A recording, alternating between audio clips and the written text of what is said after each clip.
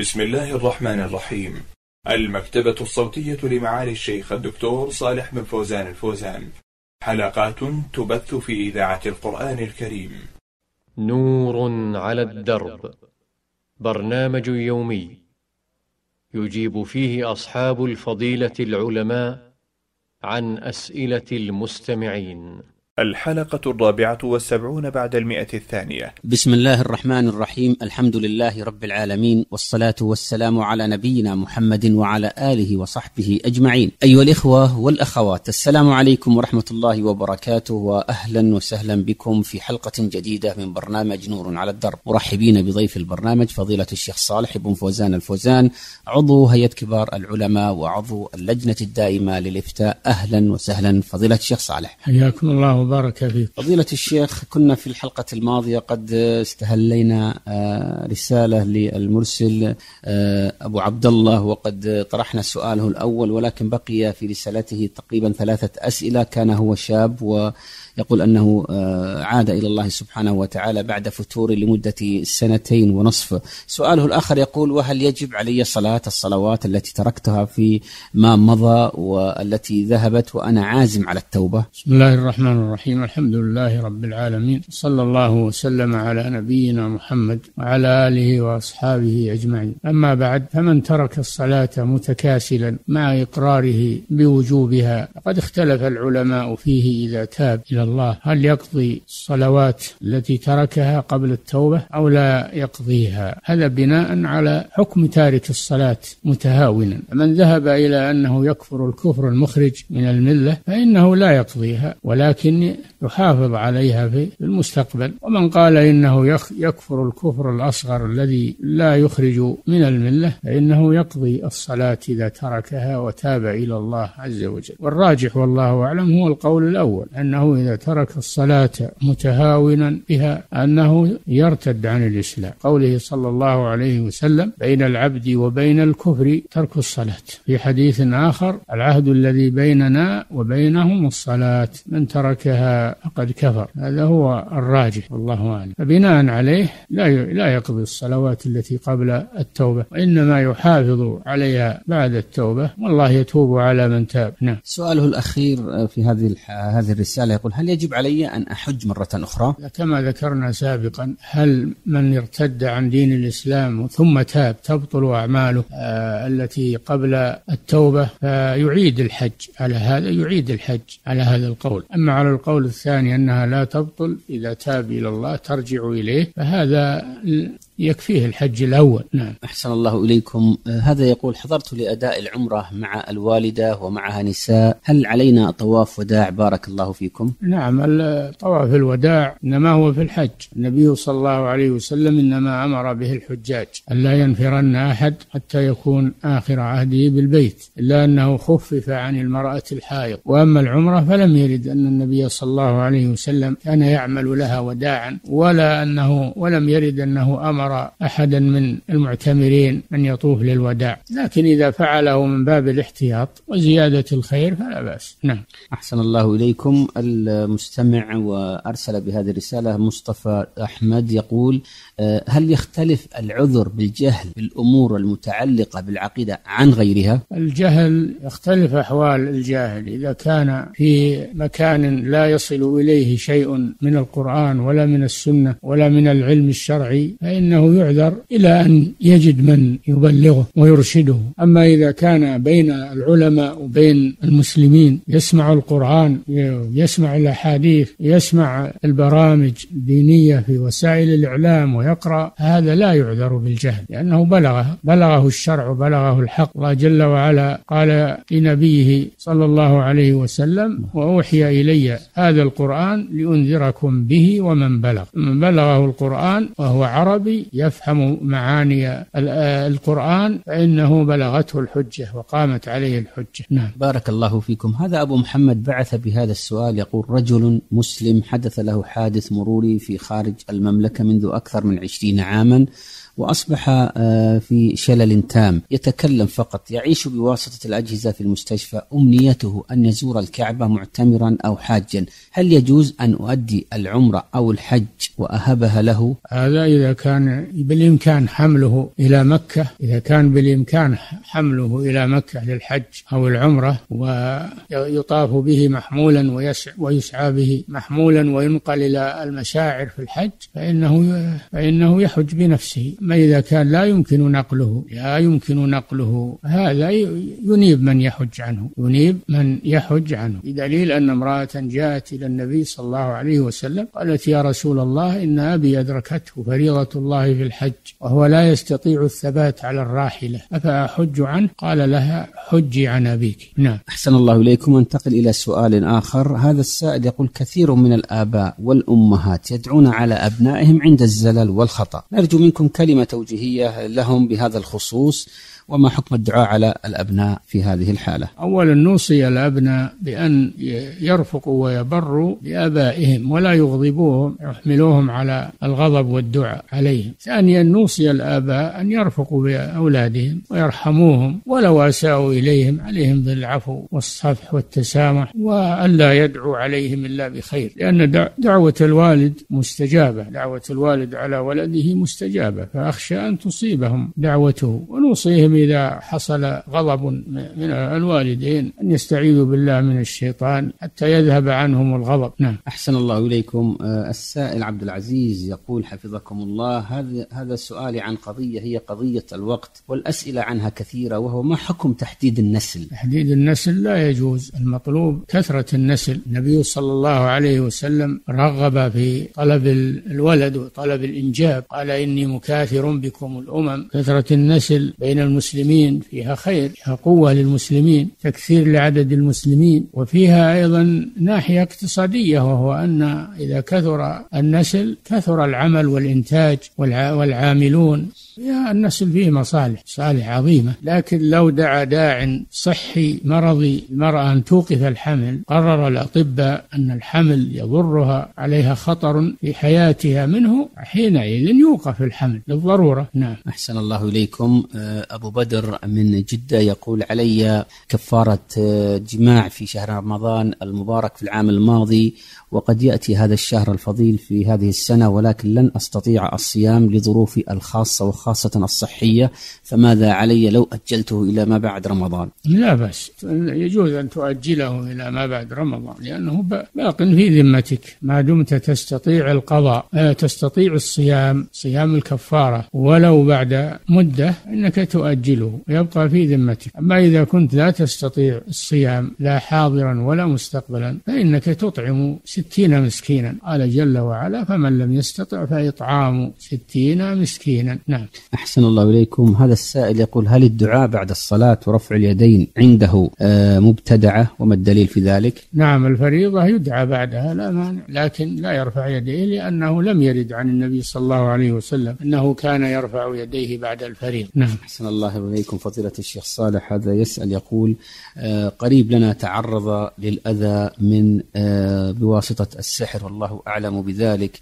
وحديثنا وسؤالي حفظكم الله يقول كيف نعالج ذلك. بارك الله فيكم حيث عرض لنا بعض الذين يتعاطون السحر ونحن خائفون من ذلك. هل نتوجه إليهم ونستفيد من أفعالهم؟ السحر يعالج بالأدوية المباحة ويعالج بالرقية الشرعية مع صدق النية وصدق العقيدة واليقين وسيشفيه الله بإذن الله. ولا يعالج السحر بسحر مثله لأن السحر كفر ولا يجوز التداوي بالحرام. فكيف بالكفر؟ قال صلى الله عليه وسلم تداووا ولا تداووا بحرام. والسحر أعظم الحرام لأنه كفر تعلمه وتعليمه والتداوي به. قال صلى الله عليه وسلم ليس منا من سحر أو سحر له. فلا يجوز التداوي بالسحر. نعم. أحسن الله إليكم. آه هذا السائل يقول هل يجوز للأب أن يرغم ابنته على الزواج من من شخص لا تريده؟ لا يجوز له ذلك. لا بد من رضا لا بد من رضا المرأة بالزوج ولا تجبر على من لا تريده. نعم. بارك الله فيكم. وفي هذا السياق أيضا هذا السائل يقول هناك عادة منتشرة وهي رفض الفتاة أو والدها من يخطبها لأجل أن تكمل تعليمها أو حتى لأجل أن آه، تدرس لعدة سنوات فما حكم ذلك؟ هذا فيه ضرر على المرأة. إذا فاتها الزواج فاتتها سعادة الحياة فاتتها الذرية. خسرت خسارة كبيرة لا تعوض. أما المال إن الله يأتي به. والدراسة ليست عذرا لا تتنافى مع الزواج. وكذلك التدريس إذا كانت مدرسة لا يتنافى ذلك مع الزواج. تتزوج وهي تدرس تتزوج وهي مدرسة. ويخبر الزوج بذلك عند العقد. فإذا تم العقد والزوج قد رضي بأنها تدرس أنها تدرس لا بأس ولا يفوت الزواج فإن ذلك مضرة على المرأة. قال صلى الله عليه وسلم إذا أتاكم من ترضون دينه وأمانته فزوجوه إلا تفعلوا تكن فتنة في الأرض وفساد كبير. نعم. أحسن الله إليكم. أبو ناصر من الرياض يقول لي خمس سنوات لم أزكي زكاة الذهب. هل أزكي دفعة, دفعة واحدة أم لابد من دفعها في كل سنة بحد ذاتها حيث أنه زكاة حلي المرأة. حلي المرأة إذا كان لللبس والاستعمال ليس فيه زكاة والحمد لله. عند جمهور أهل العلم إلا من أراد أن يبري ذمته ويخرج من الخلاف فإنه لا بأس يزكيه لكن يحسب زكاته عن السنوات الماضية كلها ويخرجها. نعم. سؤاله الآخر يقول لي أحد الأقارب مريض ولقد أرهقته مصاريف العلاج هل يجوز أن أعطيه من الزكاة؟ إذا كان قريبك فقيرا محتاجا لا يستطيع أن يعالج نفسه إلا بالإعانة تعطيه من الزكاة. لأن الزكاة له ولأمثاله. قال تعالى إنما الصدقات للفقراء والمساكين. فهذا يعتبر من الفقراء أو من المساكين. ومع أنه قريب فيكون لك أجران أجر الصلة وأجر الصدقة. نعم. هذا السائل بارك الله فيكم محمد صالح من آه، تبوك يقول أرجو من فضيلتكم توضيح قوله صلى الله عليه وسلم من سن سنة حسنة فله أجرها وأجر من عمل بها. معنى سنة سن سنة حسنة هي أحيا سنة قد نعم. تركت. فإذا أحيا سنة قد تركت فإنه يكون سن في الإسلام سنة حسنة له أجرها وأجر من عمل بها. والحديث جاء على سبب وهو أن الرسول صلى الله عليه وسلم قدم عليه أناس محتاجون فقراء يحتاجون إلى الإعانة. النبي صلى الله عليه وسلم حث على الصدقة ورغب فيها. فجاء رجل بصرة من النقود قد أثقلت يده من كثرتها ووضعها بين يدي الرسول صلى الله عليه وسلم فلما رآه الناس تتابعوا الصدقات. فسر بذلك رسول الله صلى الله عليه وسلم وقال من سن في الإسلام سنة حسنة فله أجرها وأجر من عمل بها. الصدقات هذه مشروعة ولكن قد يتكاسل عنها الناس. فإذا رأوا من يبادر إليها بادروا اقتداء به. فيكون سن لهم سنة حسنة وهي المبادرة بالصدقات والإنفاق على المحتاجين. أما أن يحدث في الدين ما ليس منه يقال هذا سنة حسنة هذه بدعة. قال صلى الله عليه وسلم من عمل عملا ليس عليه أمرنا فهو رد. قال عليه الصلاة والسلام فإن كل محدثة بدعة وكل بدعة ضلالة. نعم. أحسن الله إليكم. هذا يسأل حفظكم الله أبو سالم من المدينة المنورة يقول يسأل عن شرك السرائر ما هو وهل وما هو الشرك الأصغر؟ شرك السرائر هو الشرك في النيات والمقاصد وهذا يكون بالرياء والسمعة الذي يعمل العمل الصالح. ظاهره أنه لله ولكن هو في نفسه يريد الرياء يريد المدح والثناء فهذا هو شرك السرائر لأنه لا لا يعلمه إلا الله. الناس ينظرون إلى الظاهر ولا يعلمون ما في الباطن لأنه سر ويعلمه الله سبحانه وتعالى. يعلم السر وأخفى. نعم. أحسن الله إليكم. هذا السائل أو السائلة أم عمر تقول تصلني بعض الرسائل عن سور القرآن الكريم بأن لها فضائل. مثلا يقول اقرأي سورة الواقعة تمنع الفقر اقرأي سورة الملك تمنع عذاب القبر وهكذا. ما صحة ذلك؟ لا تقبلي ما يأتي في الجوالات حتى يذكر المصدر الذي أخذ منه الحديث من كتب الحديث المعتبرة. إذا ذكر المصدر ووثقه فالحديث مقبول ويعمل به. أما أنه يأتي بحديث حديث لا أصل له ولا ولا يبين من أي كتاب ولا من خرجه فهذا لا يجوز العمل به لا في الجوالات ولا في الكتب ولا في غيرها ولا في المواعظ ولا في النصائح ولا في المحاضرات ولا في أي شيء. لابد من توثيق الأحاديث من مصادرها الصحيحة. نعم. أحسن الله إليكم. أبو سامي من عرعر يقول إني أجلس بعد صلاة الفجر إلى الشروق ولكني أنام وأنا جالس ثم بعد موعد الشروق أقوم وأصلي ركعتين. السؤال فهل لي أجر آه، من جلس يذكر الله إلى أن تطلع الشمس؟ نعم إذا غلبك النعاس وأنت جالس فأنت على عملك. الحمد لله. وطهارتك باقية. تصلي إذا ارتفعت الشمس. الصحابة رضي الله عنهم كانوا ينتظرون الصلاة مع رسول الله صلى الله عليه وسلم صلاة العشاء حتى تخفق رؤوسهم ثم يقومون ويصلون ولا يتوضؤون. دل هذا على أن النعاس من الجالس أنه لا ينقض الوضوء. نعم. سؤاله الآخر يقول عم آه، بالنسبة لعملية المرور من بين المصلي هل يؤثر على صلاته حتى لو مد يده؟ هذا يؤثر على الصلاة. يأثم يأثم المار ويأثم المصلي إذا مكنه من المرور وسمح له. ولكن ينبغي أن يراعى أنه إذا مر من وراء سترة فلا يضر. أو مر بعيدا عن المصلي ثلاثة أذرع فأكثر هذا لا يضر. أو المأموم يصلي خلف إمام فإن سترة الإمام سترة للمأموم. نعم. أحسن الله إليكم. هذا محمد يحيى يقول أنا صاحب آه، محلات تجارية وعقارات. هل هذه عليها آه، زكاة؟ بارك الله فيكم. وهل لي أن أزكيها؟ وإن كانت تأخرت سنتين؟ إذا كنت تريد المحلات للتأجير فإن الزكاة تجب في أجرتها. إذا مضى عليها حول من العقد وجبت فيها الزكاة لسنة أو لأكثر. أما هي في نفسها فلا زكاة فيها إلا إذا نويت بيعها. إذا نويت بيعها صارت من عروض التجارة تقوم وتزكى. لكن إذا ما نويت بيعها وإنما تريد استقلالها واستثمارها بالأجرة الزكاة تكون في أجرتها. نعم. أحسن الله إليكم. آه هذا الطالب يدرس في الجامعة محمد صديق يقول هل يجوز عند سؤال الله عز وجل أن نقول بجاه نبيك أن توفقني في امتحاناتي الدراسية؟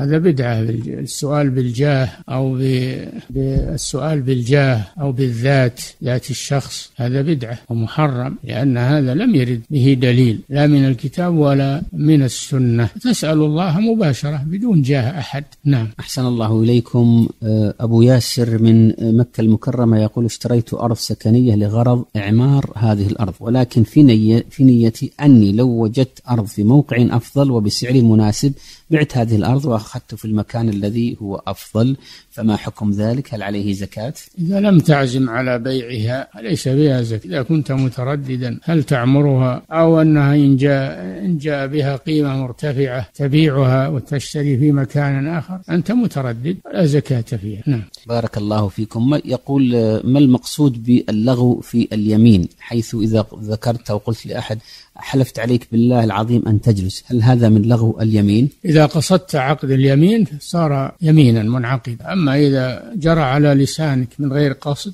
هذا من لغو اليمين. لا يؤاخذكم الله باللغو في أيمانكم ولكن يؤاخذكم بما عقدتم الأيمان. الآية الأخرى ولكن يؤاخذكم بما كسبت قلوبكم. فالمدار على النية إذا نويت عقد اليمين وأتيت بلفظه ثم فإنه تجب عليك الكفارة إذا حنثت فيه. أما إذا جرى على لسانك من غير قصد ليس فيه شيء؟ نعم. نختم هذه الحلقة بهذا السؤال حفظكم الله.